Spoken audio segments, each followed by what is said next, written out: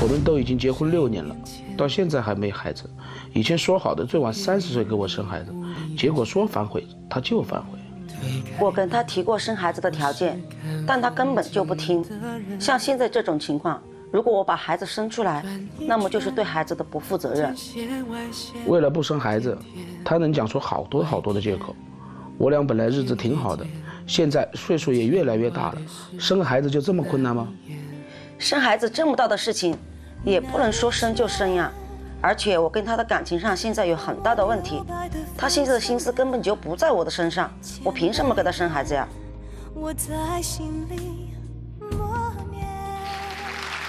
掌声有请这一对，有请。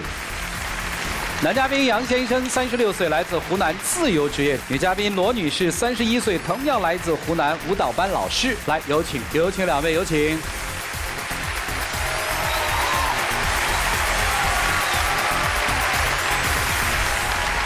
欢迎两位哈，结婚有六年了是吧？我看资料上说。是的。呃，自由职业是做什么的？具体？嗯，我本身是乐队的歌手，专门做一些商业活动。您是舞蹈班的老师，是不是就是这么认识的？一个唱歌，一跳舞。对对对。到现在还没孩子，说是吧？对，结婚到现在也已经六年多了啊。嗯，我现在也已经三十七岁了。到目前为止，我感觉一个家庭还少点什么的感觉，感觉差一点。啊，就要一个呗。他。哎，你们结婚的时候讨论过这个问题吗？讨论过。讨论过。就是说，刚开始结婚一两年，还是觉得都还年轻嘛，啊，想玩个一两年。但是到我们结婚的第三年，也是说到目前为止，我这个心结一直都没有打开。什么心结？就是结婚的第三年，有一次他去岳阳接了一个商演的活动，结果晚上我给他打电话发信息，整个都不回，直到晚上快一点钟的时候，他才回来我的信息。那时候我就心里很不舒服嘛，就吵了一下，但是也没怎么大吵。回到家看他手机。发现他买的票根本就不是去岳阳，是去常德的。他以前谈了三年的女朋友就是常德的。这个事情，你说让我心里怎么想？哦，你怀疑他去见了以前的女朋友？是的，我问他，他也不说。是我那次确确实实，怎么说这个这个，因为是就怕他误会去见常德以前的那个前女友。我我个人是这么想，因为我想着男女朋友做不做不了的话，因为咱们普通朋友还是可以做，可以可以聊聊天。直接告诉我，你干嘛要骗我？我因为我就是怕你误会，我就不敢说。不是，那你是去那儿确实有商演，顺便见的，还是专门去见的？专门去见，专门见干嘛呢？就聊聊天，而且我也可以保证，我绝对绝对没有做任何任何对不起你的事儿。是因为这个，所以不想给他生孩子，是吧？是啊，我觉得让我没有安全感。就三年的时间，这个坎儿一直没翻过去的。过不去，总觉得 在我心里是个结。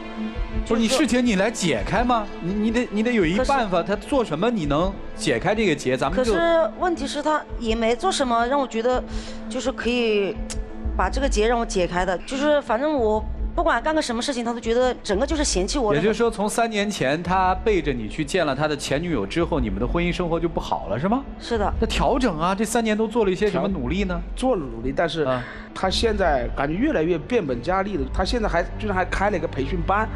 不是开培训班不是挺好？为什么用“居然”这个词啊？因为说实话，你像以前没有演出的话，就待在家里，两个人能够一起聊聊天，什么东西的。然后我现在每天基本上一起床没看见人。可是我开培训班，说实话也是为了我们两个有一个稍微稳定的收入啊。他现在做这个唱歌，要是旺季的话，可能就是嗯每天演个一场到两场，赚个几百块钱、千把块钱。